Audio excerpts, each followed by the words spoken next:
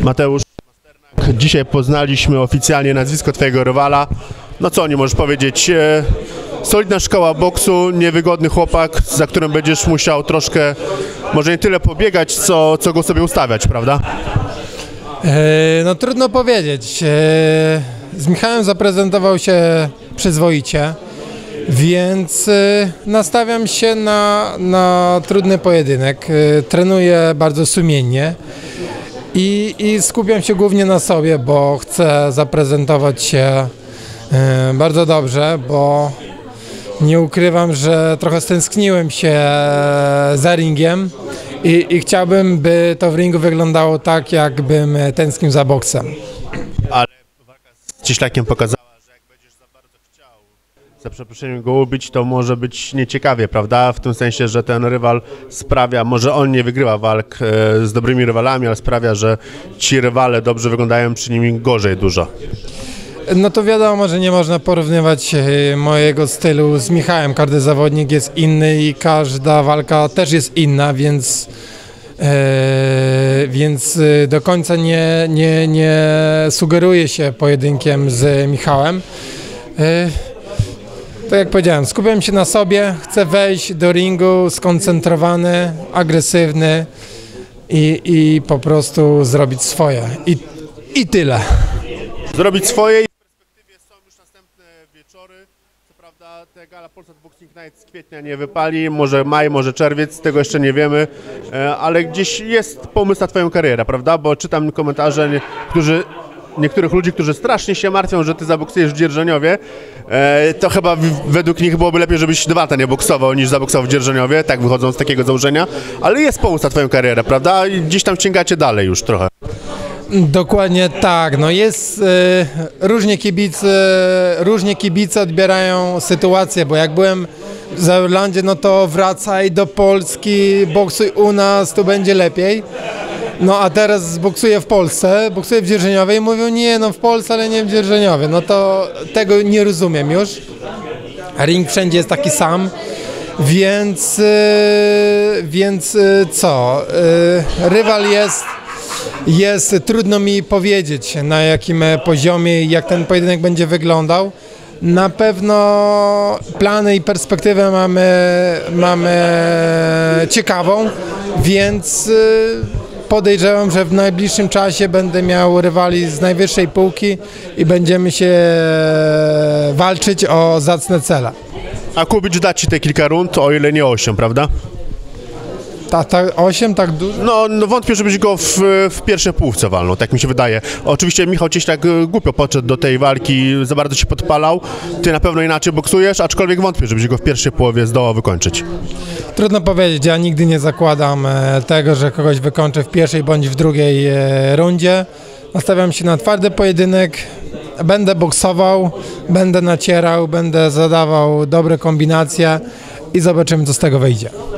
Słuchaj, e, podsumujmy ten e, twój epizod, bardzo długi epizod z Event. E, rozstaliście się tak e, nie w wielkiej miłości może, aczkolwiek jakby tak podsumować cały ten okres, to chyba jednak udany, prawda? Dostałeś swoją szansę walki mistrza świata, byłeś mistrzem Europy. E, tak na spokojnie, jak już te emocje padły, uważasz ten okres za udany, czy, czy jednak nieudany? Jeszcze teraz mi jest to trudno, trudno, nie, chodzi o to, że na pewno łatwiej mi będzie to oceniać, jak zakończę karierę. Trudno mi jest teraz przewidzieć, jak potoczy się moja kariera, jak wszystko dalej się e, poukłada, więc całą karierę na pewno kiedyś będzie mi łatwiej podsumować, czy była dobra, zła, gdzie były lepsze, gdzie były gorsze momenty.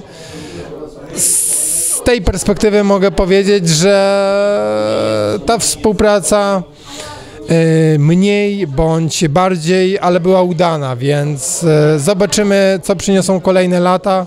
Być może to będzie najwspanialszy okres w mojej karierze, być może i to będę wspominał jako jeden z gorszych okresów w mojej karierze.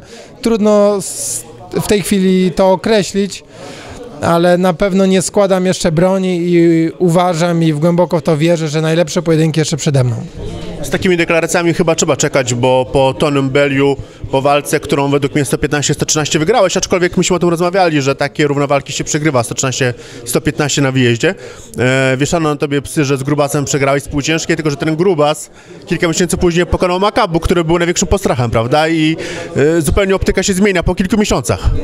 Dokładnie tak. Boks jest sportem niewymiernym. Tony Bellew nie miał szacunku e, do momentu, kiedy z nim boksowałem. To samo Grigory Drost, natomiast e, czy Kalenga, natomiast później każdy z tych e, pięściarzy pokazywał swoją klasę i udowodnił wszystkim, że należy do ścisłej światowej czołówki.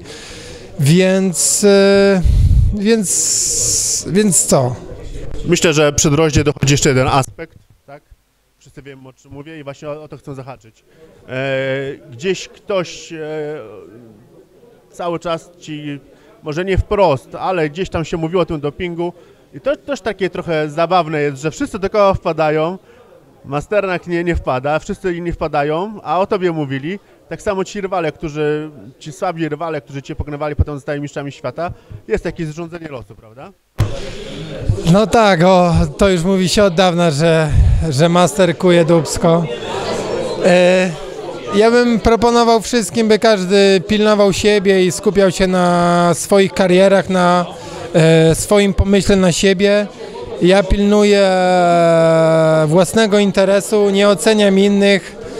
E, niech każdy, każdy prowadzi swoją karierę e, jak chce i ktoś, jeśli uważa, że mu to mu pomaga, to mi nic e, do tego. Ja zawsze podkreślałem i nadal to podkreślam, że jestem pięściarzem czystym. Nie boję się żadnej kontroli antydopingowej i, i to, co się dzieje w koło, w żaden sposób na mnie nie wpływa.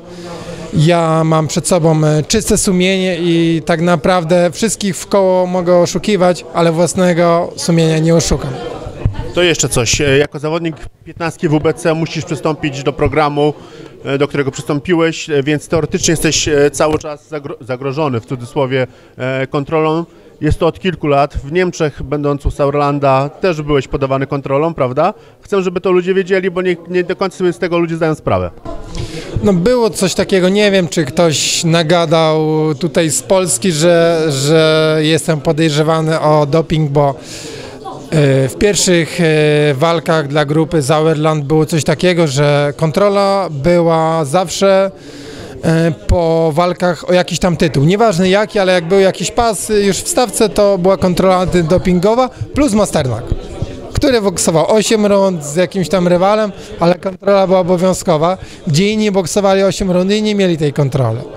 No ale jak widać, ta kontrola w pewnym momencie e, nic im nie odpowiedziała na żadne pytanie i uświadomili sobie, że szkoda wydawać pieniędzy i później byłem kontrolowany tylko przy pojedynkach o, mistrz, o mistrzowskie pasy, bądź o jakie, o, po prostu o, jąkam się, nie? E, Po prostu o pasy. To już tak na koniec. Słuchaj, e, ja nie wierzę w walkę z Głowackim, jest za wcześnie na nią uważam.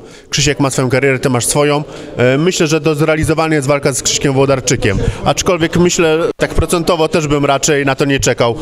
E, Jaką drogą chcecie iść? E, Te Polsat Boxing Night, zagraniczni rywale, którzy ci będą wciągać e, w ranking, może Ebu, trochę teraz zostawione. Jak, chcesz, jak ty sobie może to wyobrażasz? Bo wiadomo, że życie pisze scenariusz, a jak by ty byś to widział? Ja tak sobie wyobrażam, teraz walka, potem Polsat Boxing Night, potem jeszcze luźniejsza walka i może pod koniec roku tytuł mistrza Europy. Co ty na to? Yy, walką o pas mistrza Europy na pewno bym nie pogardził. No przede wszystkim chciałbym e, stąpać e, złotą drogą, gdzie będzie złota i usłana różami. Oczywiście za, mówiąc poważnie, chciałbym drogę mm, mieć bogatą w poziom sportowy i, i takiej sobie życzę. Jak to wyjdzie, trudno jest nam powiedzieć. E, Był pomysł, by, jest pomysł cały czas Polsat Boxing Night. Już gdzieś tam pojawiły się pierwsze nazwiska, które są bardzo satysfakcjonujące, więc y, zobaczymy. W boksie trudno jest coś przewidzieć, ale no na pewno idziemy na szczyt.